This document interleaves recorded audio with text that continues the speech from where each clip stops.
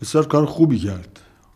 تبعیدش هم حالا به خود دورتر اگه می بود بهتر می بود. ولی شاید بهتر بود اصلا در ایران یه گوشه نگرش بذاشتن و ارتباطش هم قطع می‌کردن و بهترین راه حل اون بود. کشتن حالا من اصولا با کشتن مخالفم مجازات اعدام اصلا مخالفم. نه کشتن به نظر راه حل نیست. اون چه لازم بود حالا با نگاه و گذاشته میگم اون وقت به هیچ وجه عقل من به اینسان نمی‌رسید.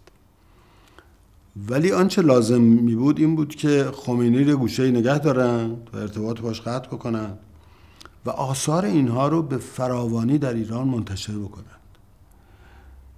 هیچ چیز بیشتر به زیان اسلام آخوندی از رساله ها و نوشته ها و گفته های خود اینا نیست. و به طور ابلهانه ای جلو انتشار هر چیزی رو از خود اینها و درباره اینها گرفتن در اون مدت و یک افسانه درست شد بر گرد اینها.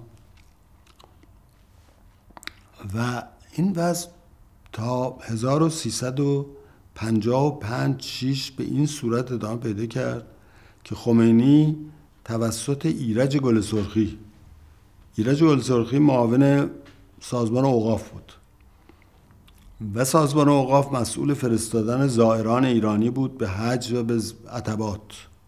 بعد از قرارداد الجزیره 1975 دوباره زائران ایرانی توانستند به عراق برن.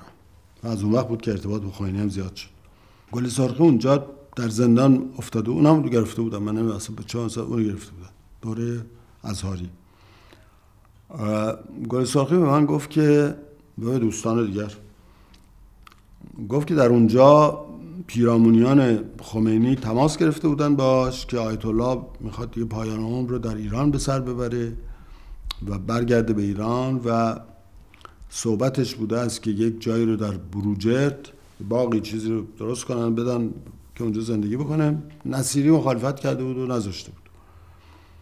به نظر من این راه ها برای خمینی درست می بود باهاش محترمانه رفتار بکنن ولی اجازه بدن آثارش منتشر بشود و بر ضدش کار بکنند.